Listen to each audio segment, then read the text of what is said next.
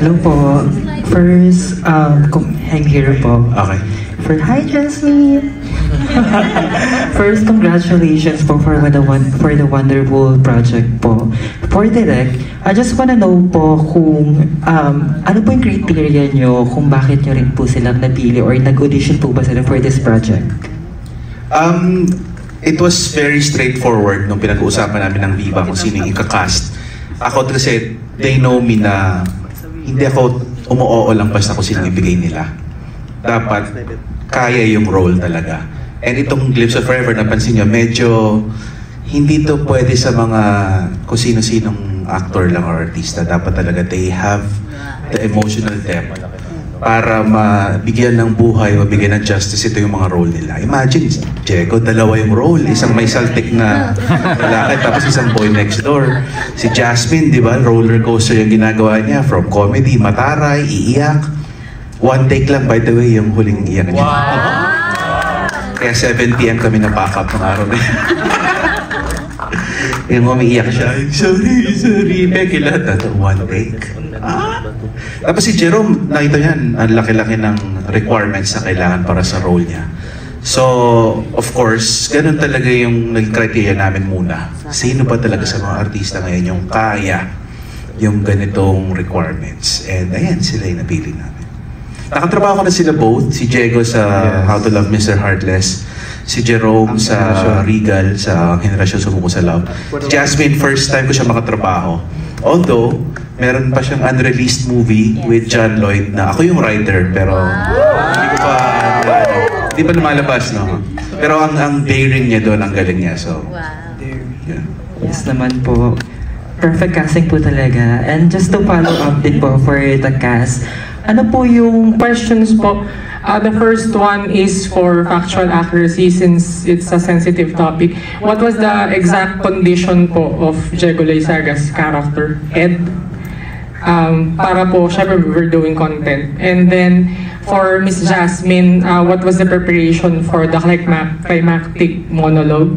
Because it was really emotional. So, I'm just curious, like, how they even prepare for that kind of, you know, scene na like heavy tapos I'm assuming screen kasi yung I mean you're talking to a virtual ano eh so you're not talking character ni Diego, hindi siya na-mention directly sa pelikula. Pero yung, nga, yung parang ah, tinalakay na takbo ng isip niya yung nag-overcompensate siya. Which could, which could result from either meron siyang obsessive compulsive disorder or ah, you know, simple perfectionism brought about by a childhood trauma.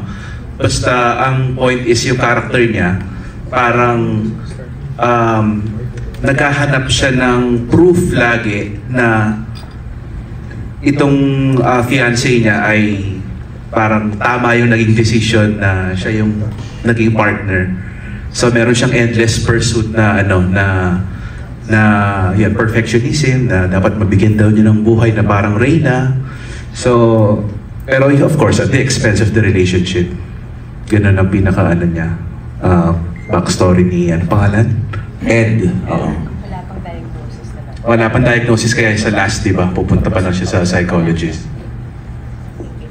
Um, for that monologue, well, uh, like mentioned, no, yung mga eksenang yun, uh, wala akong nakikitang screen. I haven't seen how did they how did they do or perform in their scenes, uh, especially dun sa kabatuhan kong eksenang yon.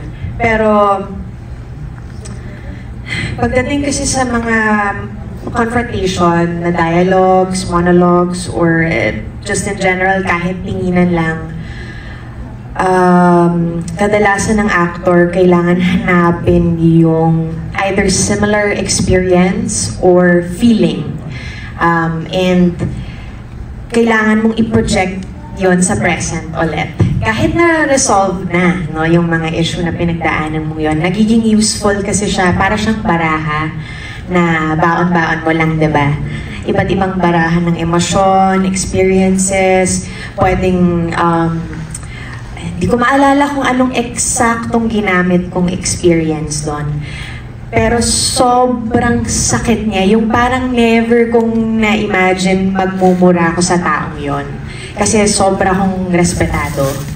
Ganon. Ganon din kasi yung nakita ko sa kay Glenda and kay Ed. Yung respetado niya si Ed. Eh. Ayaw niya ding maramdaman ni Ed na kulang siya. Kaya ayaw niyang i-confront ng harap-harapan yung issues niyang ganun. Kaya siya pumupunta dun sa Forever.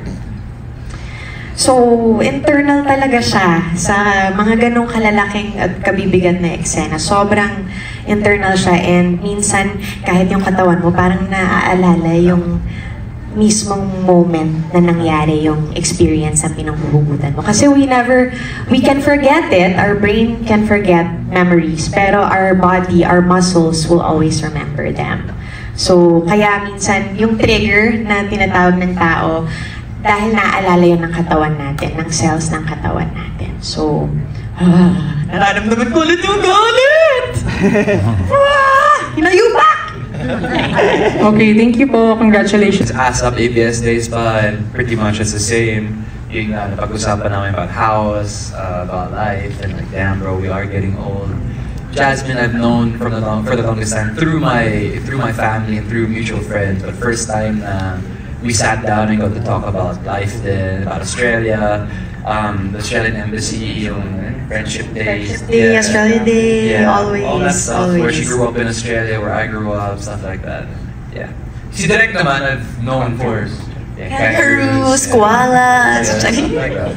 Direk, uh, I've known for quite a while. First project natin yung How to Love Service, no? And I already knew how brilliant of a director he was nun, nun pa lang. Nung nag-work kami noon. So I was very happy naman to be working with him again. And it This um, where were follow for more pageant and entertainment about updates.